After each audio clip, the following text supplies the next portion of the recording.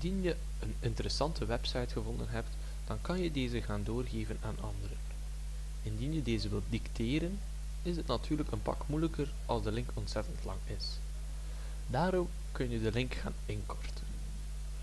Ik selecteer hiervoor de originele link naar bijvoorbeeld dit artikel, kopieer het en ga vervolgens naar een site die deze URL kan inkorten.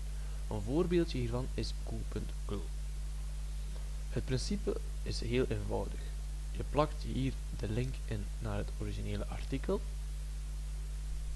en klikt vervolgens op Shorten URL. Je krijgt hier nu links de ingekorte versie. Ik kan deze kopiëren via Ctrl-C en om eens uit te testen open ik een nieuw tabblad, plak ik de ingekorte link en druk ik op enter. Ik zie dat onmiddellijk de originele link wordt weergegeven met bijgehoord artikel.